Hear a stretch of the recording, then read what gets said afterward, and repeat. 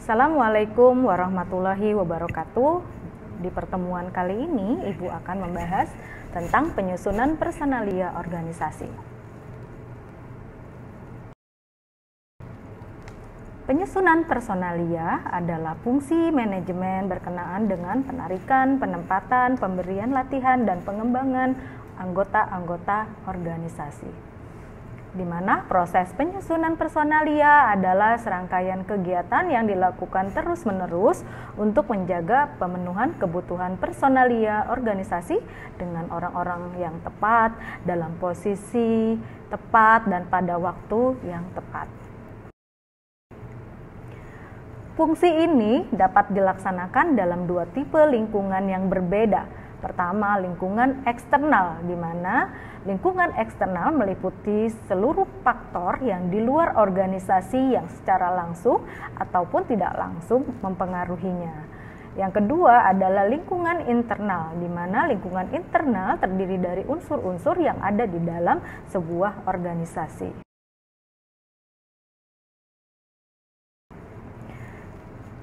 Langkah-langkah proses penyusunan personalia ada beberapa langkah di sini. Pertama, perencanaan sumber daya manusia.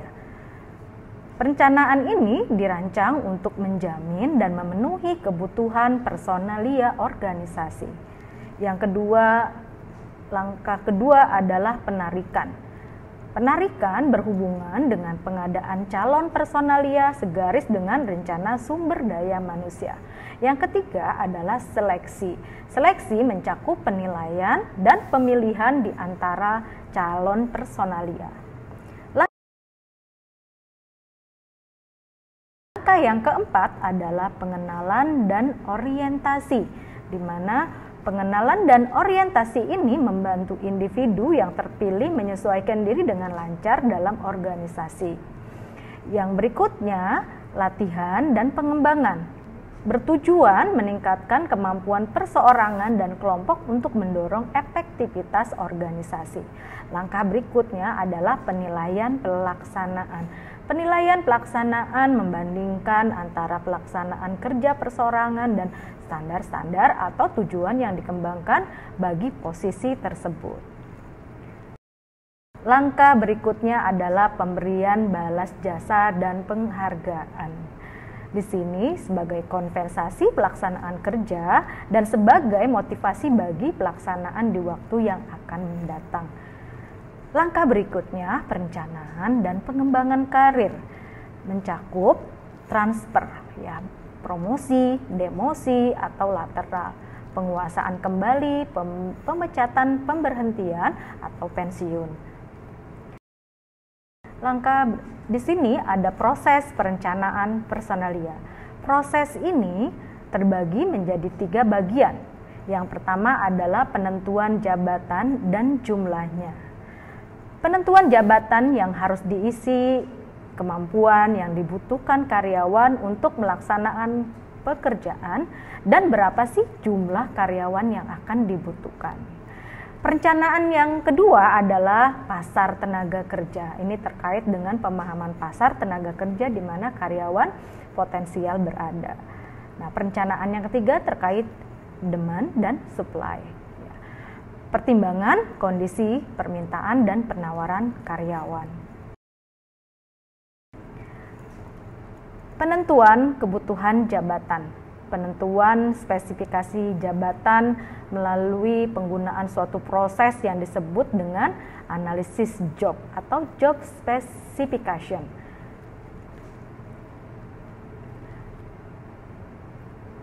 Jenis-jenis jabatan yang dilaksanakan dan keterampilan, tanggung jawab, pengetahuan, wewenang, lingkungan, dan antara hubungan yang terlibat dalam setiap jabatan hasil analis jabatan ini berupa deskripsi jabatan dan spesifikasi jabatan. Dan penentuan kebutuhan jabatan dimulai dari penentuan tujuan dan rencana organisasi terlebih dahulu. Yang kedua, setelah tujuan ditentukan dan rencana sudah ditetapkan, maka perlu menentukan spesifikasi jabatan ya yang jenis jabatan yang dilaksanakan biasanya keterampilan yang dibutuhkan untuk melaksanakannya. Yang ketiga adalah organisasi harus mengestimasi jumlah karyawan totalnya yang dibutuhkan selama periode tertentu di masa mendatang. Yang keempat adalah dengan mempertimbangkan persediaan karyawan yang telah tersedia untuk melakukan berbagai pekerjaan. Yang terakhir yaitu menetapkan jenis program kerjanya.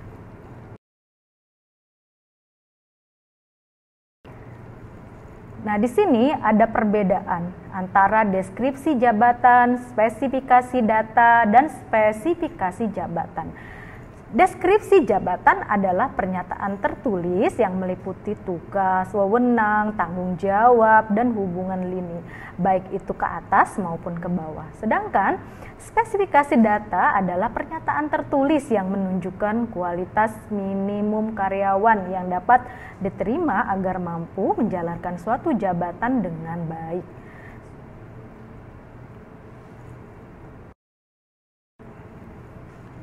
Nah, penarikan seleksi karyawan. Penarikan menyangkut usaha untuk memperoleh karyawan dalam jumlah yang tepat dengan kemampuan yang dibutuhkan untuk mengisi jabatan yang tersedia.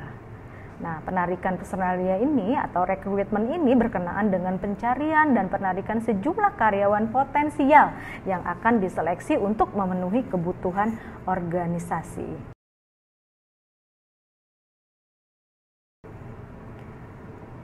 Di sini ada metode-metode penarikan. Metode-metode penarikan di sini ada terkait dengan pengiklanan, leasing ya atau penggunaan tenaga honorer, rekomendasi dari karyawan yang sudah bekerja, penarikan lewat lembaga pendidikan, kantor penetapan tenaga kerja, serikat buruh dan penggunaan komputer.